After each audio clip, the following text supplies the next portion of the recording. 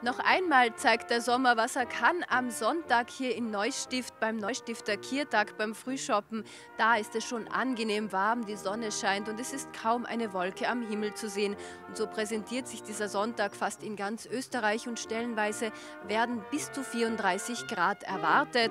Der Sommer, der geht also noch einmal hier in die Vollen, aber bereits am Abend soll es hier in Vorarlberg zu einer kleinen Störungszone kommen. Da kommt nämlich eine neue Störungszone Gewitterfront und die könnte schon in den Abendstunden in Vorarlberg zumindest Regenschauer bringen, aber im restlichen Land bleibt es schön und ungetrübt. Auch am Montag geht es heiß weiter, da werden bis zu 32 Grad erwartet. Hier kann es dann allerdings im Westen wirklich zu mehreren Regenschauern kommen. Da ist die Störungszone dann schon in Österreich, hat sie erfasst, den Westen und zum Teil auch den Norden.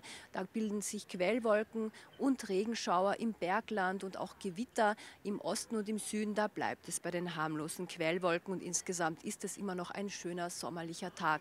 Ebenfalls dann am Mittwoch, zumindest im Süden und im Südosten, da bleibt es heiß und sommerlich. Da haben wir wirklich angenehme Temperaturen und noch einmal viel, viel Sonnenschein. Aber im Rest des Landes wird es schon am Vormittag zu Regenschauern kommen, im Norden, im Westen. Da ist es schon trüb und das ist eben die Störungszone, die sich hier breit macht. Und vielleicht kann im Norden noch hin und wieder die Sonne durchblitzen, aber insgesamt wird da eher eher das unbeständige Wetter dominieren, aber eben wie gesagt im Süden und im Südosten noch einmal sommerlich warm.